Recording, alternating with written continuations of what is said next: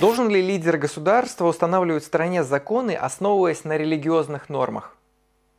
Да, безусловно, должен. Только эти нормы религиозные должны соответствовать максимальным правильным истинным законам Бога. И тогда будет порядок. Где эти истины взять? В каждой религии они есть. Но из-за корысти их носителей эти истины искажаются. Вот с этим нужно. Корысти духовенства или общества? И тех, и других.